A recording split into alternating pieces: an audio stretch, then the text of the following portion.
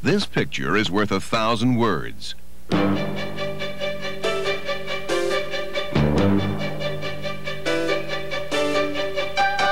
are just some of the words used to describe Mike Ahern and Debby Knox in a recent Gallup poll.